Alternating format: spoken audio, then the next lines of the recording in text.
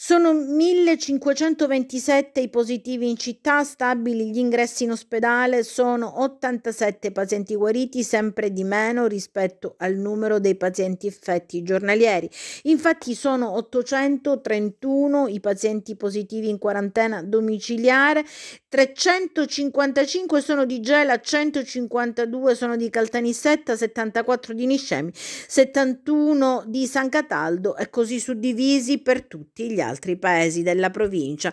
Rimangono stabili gli ingressi in terapia intensiva, sempre 8, diminuisce di un'unità invece il numero dei pazienti in malattia infettiva da 68 a 67. Sono in tutto 8.638 i pazienti positivi in quarantena domiciliare.